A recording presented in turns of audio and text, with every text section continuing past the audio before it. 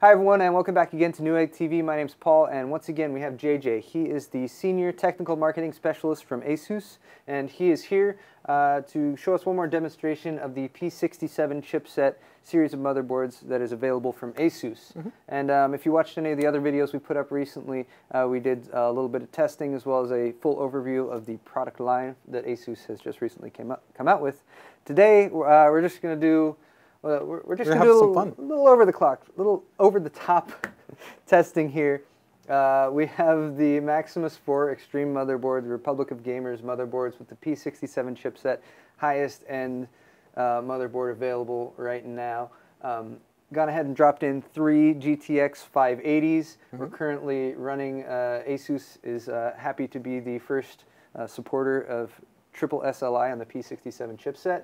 Uh, we've got our Cooler Master Hyper 212 uh, uh, heatsink fan there. We're running uh, two sticks of Corsair Dominator GT, actually GTX3 memory, uh, which is really nice memory. We have a Crucial C300 SSD.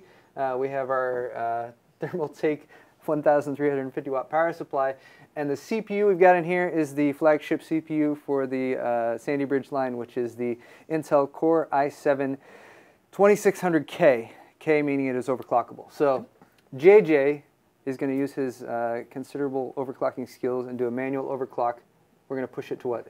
You're going to shoot for? We're going to, I don't know. I think we're thinking 5 gigahertz, but who knows? Maybe we'll go for a little bit more. We'll just see how things go. 5 gigahertz, maybe a little bit more even. We'll see if we can get this to boot up, and uh, we'll just give you some quick numbers on that. Yeah. Uh, so JJ, why don't you uh, yeah, Get so started with the UEFI. We've got um, our Maximus 4 Extreme here, so pretty much the flagship in terms of the ROG. You know, it's got an outstanding VRM design, the NF200, pretty much all the bells and whistles you could want on a Premier board. And just we're going to showcase you some of the performance uh, options you have available to you. Now, uh, while definitely I've spent quite a time tuning these boards, um, it's actually pretty easy to overclock on them. Uh, but we're going to dive in here into these uh, BIOS.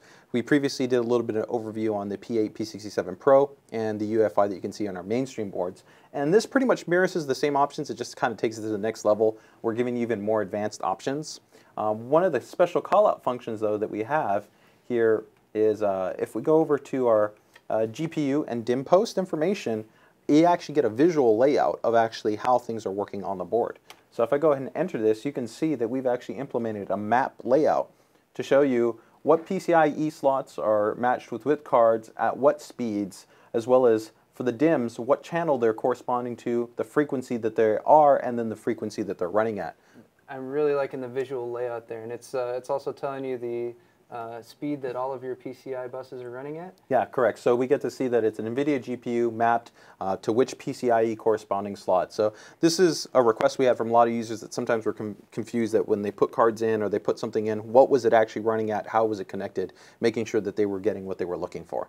Uh, and this also, of course, can work with the PCIe switches that we've put on the board that allow you to also electrically shut off the actual slots. Oh, okay. So if they have multiple GPUs in there and for whatever reason they want to shut them off, they can just switch those into the off position and cut those lanes off too. Just another example of some of the advanced features available with the ROG board. Yeah, uh, definitely taken to the nth degree. So here we're going to focus, like I said, on just a quick overclocking. Uh, so we're going to go ahead and just jump into the AI clock overclock tuner. Uh, go to manual. We're going to go to our all cores. Um, I think, you know, I think we were shooting for five, but I think we're going to try to see if we can't go a little bit higher. What do you think, 52 multi, maybe 5.2 gigahertz? Uh, that sounds good. Okay. So let's go ahead and do I mean, 52. if you're being modest, right, 5.2 gigahertz. On air? I mean, it's just, yeah. it's an air cooler. We'll go ahead and uh, go with 1866 on the memory, uh, since we don't want to super stress the IMC, as we know that the higher frequency we go, the harder it gets to also maintain high memory speeds, but uh, I think that's a nice bump up. Uh, we'll go ahead and also tighten up the timings a little bit. Go CAS 8. And uh, let's go ahead and enter in our, our DigiVRM uh, options. As we can see here, we have a huge amount of options that correspond to the VRM, uh, to the VRAM, to pretty much all each parts, and we're giving you full control. Um, but the board, like I said, being tuned pretty nicely, we're just going to have to enable a couple things. Uh, so we're going to go ahead and enable some load line compensation, to compensate for any droop. Uh, make sure that we get a steady voltage at this higher clock speed. Uh, we're going to go ahead and bump up our switching frequency, which is going to help us drive the higher clock speeds.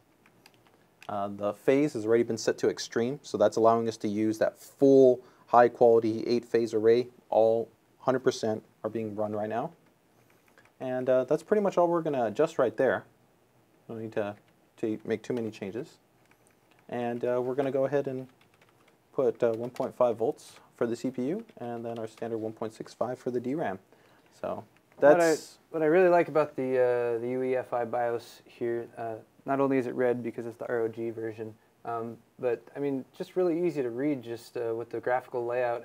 And I like how as you're going between each uh, you know each different option in the menu there, it's giving you a description on the right side. So yeah, give you that that much more confidence in. Uh, it, it's great that you call that out. We actually did try to spend a lot of time uh, when when you actually went to each one of the options uh, in the in the interface that they gave you detailing in this area because that was a lot of feedback that we got. A lot of people sometimes they go into the BIOS and they're like, I don't know what this option does. So we tried to spend more time making sure that people were understanding of what those options were. Very nice. Okay, one of the last uh, features here that I want to show you as part of the new UEFI BIOS on the Maximus 4 Extreme is also we have what's called uh, SPD information that's now been built in. Uh, what this essentially correlates to is the SPD, the serial presence detect, that's built into all memory chips.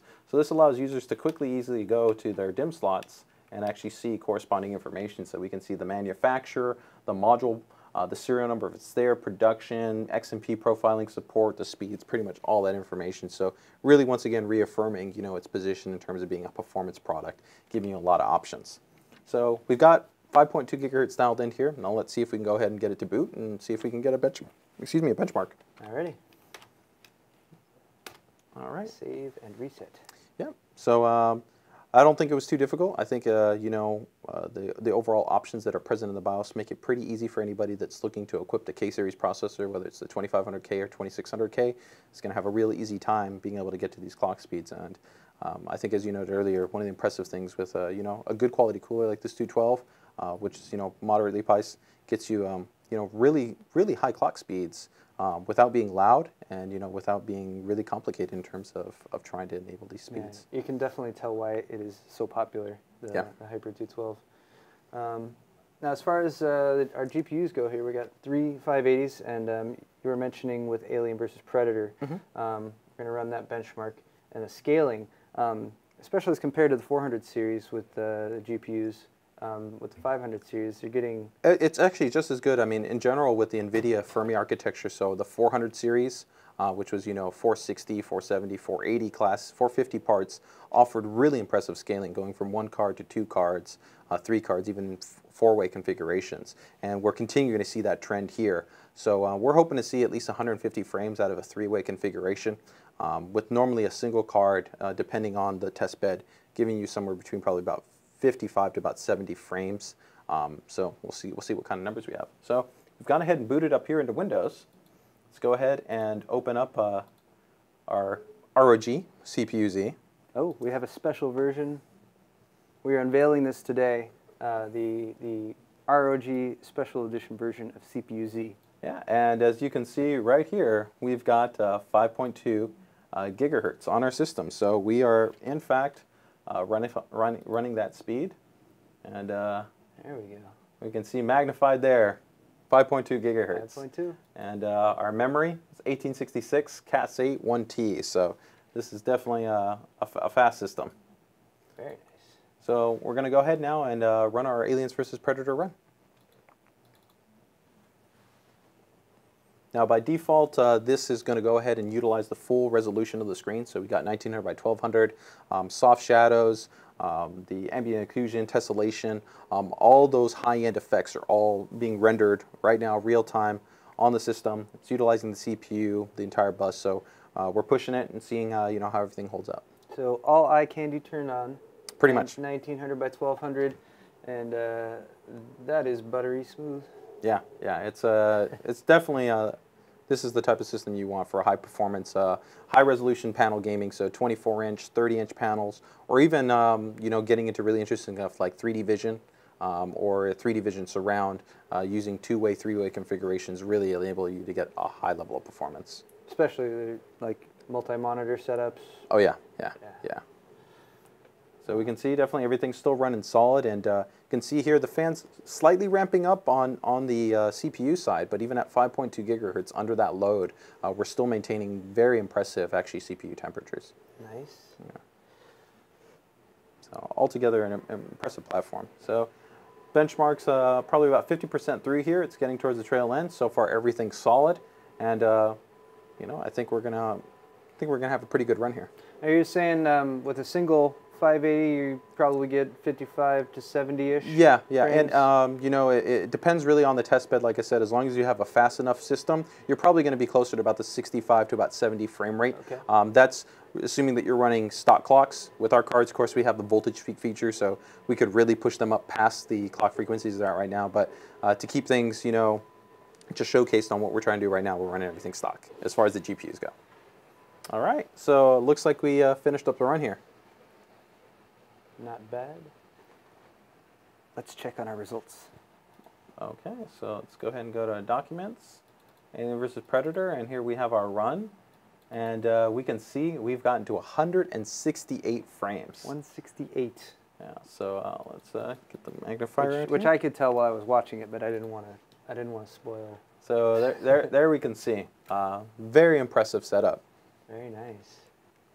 So I think uh, altogether, you know, it just shows you some of the performance potential that's uh, available on Intel's brand new P67 architecture, you know, uh, and, and an amazing board and a great set of GPUs. So uh, definitely anybody that's interested in high performance gaming, it's a platform to get. Yeah. So if you're looking for the best of the best uh, right now, you're probably you're looking at it right here, um, especially with the triple 580 setup. But uh, this has just been a little sampling, a little taste of what's available uh, with the new architecture, with the new ASUS boards.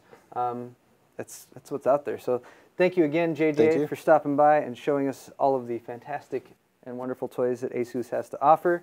And um, thanks to NVIDIA for making these cards. Thanks to Cooler Master for making fantastic cooler. And uh, thanks to all of you out there for watching Newegg TV. I'm Paul, and we will see you next time.